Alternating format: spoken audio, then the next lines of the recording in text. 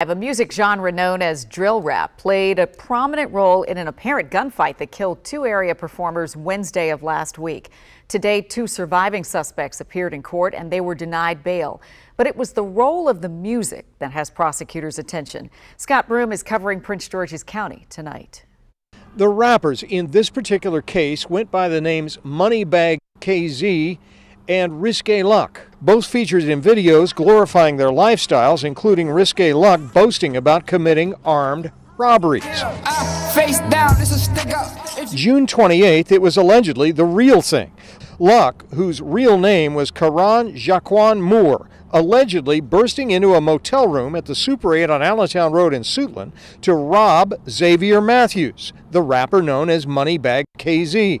Both rappers ended up dead in a hail of gunfire.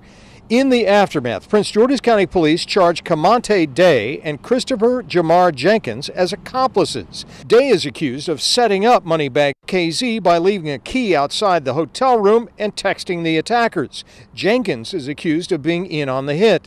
Police found a burned getaway car with weapons inside in the district after the gunfight, according to authorities. We're both held without bond. State's Attorney Aisha Braveboy now dealing with a second high profile case where key figures were rap performers. The first involved 14 year old Caden Holland, known online as Baby K, in jail after allegedly trying to kill a student on a school bus. She's calling for accountability for the producers of the music genre known as drill rap related to the cases.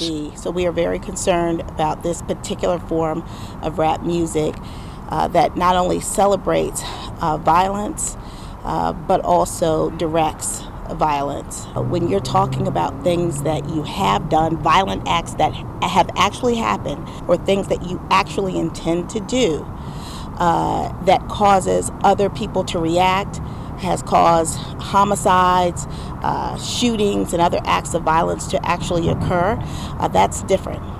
Um, and that is not protected.